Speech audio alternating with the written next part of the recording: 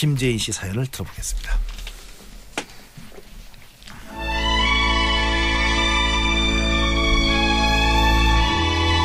가을볕이 따사롭던 10월의 어느 오후 집으로 초대장 하나가 낙엽처럼 날아들었습니다. 친척 조카의 돌잔치 초대장이었어요. 태어났다는 소식만 들었지 한 번도 본 적은 없는 그런 조카였습니다. 친척들한테 인사도 할 겸 이번엔 좀 같이 가지. 그래 마 호준이 아직 못 봤잖아. 야 작은 이모가 너 꼭 데려오라더라. 퇴원에서도 집에만 앉아있는 아들이 안타까운지 부모님은 이번 친척 모임 내도 가자가자 하십니다. 네, 아, 뭐, 네, 그래요. 저는 시큰둥하게 대답할 뿐이었죠. 사실 어린 조카가 저라고 왜 안 보고 싶겠습니까? 당장이라도 날아가서 안아주고 싶은 마음이 굴뚝 같지만 쉽게 되진 않더라고요. 투병을 시작한 뒤 친척 모임에 가는 건 더 이상 즐거운 일이 아니었습니다. 축복해야 할 자리에서는 저는 늘 위로를 받았고 반대로 또 위로해야 할 자리에서는 모두들 제 눈치를 보기 바빴으니까요. 어느 쪽을 가든 저는 그저 어색한 미소만 지을 뿐이었습니다. 나만큼이나 그 자리에 어울리지 않는 모자를 만지작거리면서요. 가기 싫은 티를 있는 대로 다 냈지만 결국 돌잔치에 가게 됐습니다. 근데 막상 가보니 삼촌 삼촌 하는 조카를 보니까 너무 예뻐서 오길 잘했다는 생각이 들더라고요.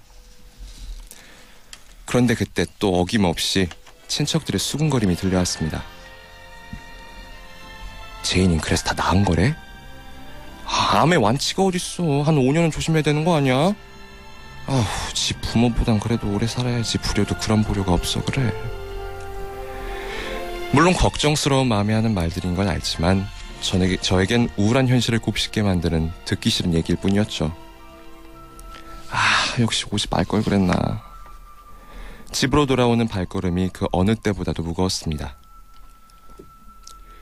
그리고 다음 날, 그날은 바로 제 생일이었습니다.